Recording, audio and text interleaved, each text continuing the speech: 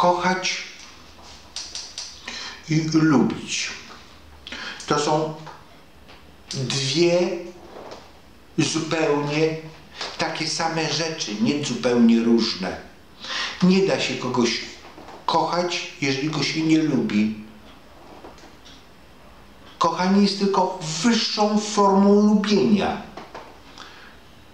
Kochanie jest to radość bycia z. W ten sposób ci Hawajczycy to definiują. Oni definiują, że kochanie jest to ta radość, którą się odczuwa z przebywania z drugą osobą. Nie można kogoś kochać, jeżeli go się nie lubi. Kochanie jest tylko wyższą formą lubienia. Może dużo wyższą formą lubienia, bo mogę lubić kotlet schabowy, ale go nie kocham. Mogę lubić sąsiadkę, ale jej nie kocham. Mogę lubić szarlotkę, ale nie kocham. Natomiast jeżeli kogoś nie lubię, to nie mogę powiedzieć, że go kocham. To występują zupełnie inne emocje,